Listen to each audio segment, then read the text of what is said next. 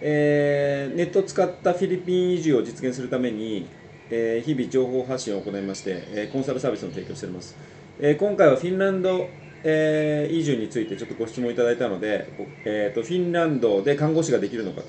えまあ、フィンランドのそのメリットデメリットについてお話したいと思います、えーとまあ、フィンランド遠い国ですけれどもあの実はまヘルシンキはですね直直行で行ける一番近いヨーロッパだったりするんですよね。まあ、あのロシアとかもねヨーロッパのような感覚があるんですけれども、まあ、本当の、えーと、いわゆるヨーロッパでいうとフィンランドが一番近いというところですね。でまあ、このフィンランドはですね、あのやっぱり、まあ、デメリットとしては遠いこと、あとはあのやはりですね、えー、冬が厳しい、そしてまあ生活費が高いっていう、まあ、その3つが大きく挙げられるんじゃないかなと。まあ、これもあのメリ冬が好きな人はメリあのデメリットではないですし、えー、生活費もですねその高い税金に対してきちんとリターンが得られると、えー、日本と違ってですね社会保障もしっかりしているっていうふうに考えれば、まあ、あの必ずしもデメリットではないかもしれないんですけれども一般的な言い方で言うと,、えーと、なかなか日本人が移住して生活するには厳しいところかなというふうに思いますね、まあ、距離がやっぱり、まあ、ヘルシンキ一番近いヨーロッパと言いましたけどもそれでもやっぱり飛行機で遠いと。いうところがあります。一時帰国の時にちょっと不便かなっていうところはありますよね。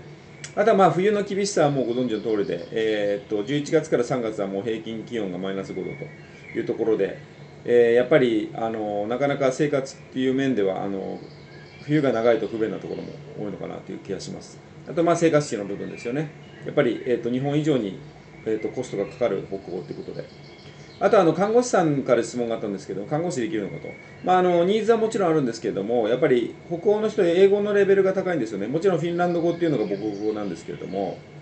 えー、とやっぱり、えー、と英語のレベルもあの僕も、えー、とフィンランド人ノルウェー人友達、えー、とスウェーデン人もいますけれどもやっぱり英語はもう英語ネイティブレベルに上手だったりするのでやっぱりそこのレベルをしっかり確保しておかないとえーと、フィンランドで仕事をする、まあ、看護師のようなですね、えー、お仕事をするのは厳しいのかなというふうに思っております。ということで、えーと、最後になりますけれども、えー